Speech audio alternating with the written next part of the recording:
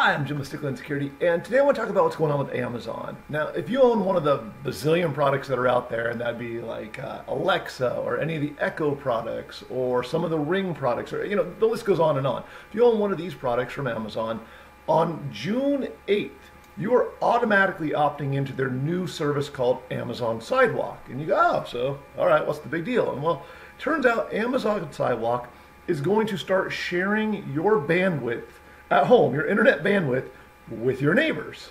And I'm not kidding about this. Like, literally, your neighbors will be able to use their devices. And if they don't have internet for some reason, they'll connect through your internet to go up to Amazon. And there's some pros and cons, but let me first, let me read to you what Amazon says, how they describe Amazon Sidewalk. Amazon Sidewalk is a shared network that helps devices work better. Operated by Amazon at no charge to customers, Sidewalk can help simplify new device setup, extend the low bandwidth working range of devices to help pets or valuables with tile trackers, and help devices stay online even if they are outside the range of their home Wi-Fi. Now, in theory, this sounds kind of cool. I mean, for example, if you're using one of the Ring security products and your internet goes down for some reason in your home, and at that same time you have some sort of security event, an alert notification could go from your Ring device through your neighbor's network and out to Amazon so you could get an alert notification on your phone. And that sounds pretty cool. Now, the problem I have is that we have really no idea how secure this sucker is going to be. Uh, Amazon has published a white paper that details out kind of the plan for their security. But the reality is, my network is going to be accessible by my neighbors, which means that if there is a security flaw, my neighbors now have access to my network. And that's pretty concerning. And I realize, you know, Amazon say, hey, we've got it all figured out. We have all the security. And if you read their white paper, they've laid out all these layers of security that they're doing. But every product on the planet has had these outlines as well. Microsoft has lots of outlines about how they're doing all this great security, and yet they have new vulnerabilities all the time. Google's had vulnerabilities, Apple's had vulnerabilities why on earth are we going to assume that Amazon is going to be the first company in the history of companies that has figured it out on their first try? They're going to launch this out and there's going to be zero vulnerabilities. This one's going to be done so right that there'll be no way it can be exploited and that your network at home can be put at risk. And what about bandwidth? So obviously, if your neighbor's connecting through your network, that means they're using up some of your bandwidth. And Amazon does address this, and they say, hey, we have some throttling put into place. And here's exactly how they word it. The maximum bandwidth of a sidewalk bridge to the sidewalk server is 80 kilobytes per second, which is about 1 40th of bandwidth used to stream a typical high definition video. Today, when you share your bridge connection with Sidewalk, total monthly data used by Sidewalk per account is capped at 500 megabytes, which is equivalent to streaming about 10 minutes of a high definition video.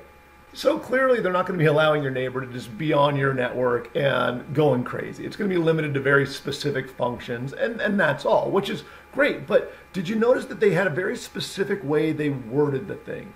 They started the second sentence by saying, Today we are going to cap it at 500 megabytes. And you go, okay, well, that's today. What about tomorrow? Like, they didn't put that word today in there just for the heck of it. They put that in there specifically to clarify in a way that was not too obvious that that's what they're doing today. But tomorrow, they may choose to cap it at a gig or two gigs or three gigs. And I guarantee you, it's not like they're going to do some huge press release and announce, oh, by the way, this is what we're doing. And I also promise you, there's nothing in your system where you got to opt in to them upping the amount of data they're going to cap it at. Another thing that really bugs me is the wording that Amazon is using when they're talking about working with third party developers. And here's what they wrote Amazon Sidewalk won't support third party devices immediately at launch, but we will make careful choices about the information they receive from Sidewalk. We'll have more details in the future. So they're not going to share the data at first, but when they finally do, and you know they're going to, uh, they're going to be making careful choices.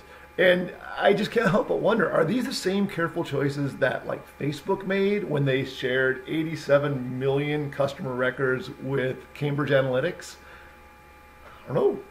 Anyway, uh, Amazon Sidewalk might turn out to be some utopian Borg-like collective where we all work together for the greater good of mankind. But for me, it just rubs me the wrong way that they're just forcing everybody to opt in by default. I mean, this product has the potential for security risk, it definitely has the potential for privacy issues. And most importantly, it's allowing other people that I don't know to use my internet bandwidth without my permission.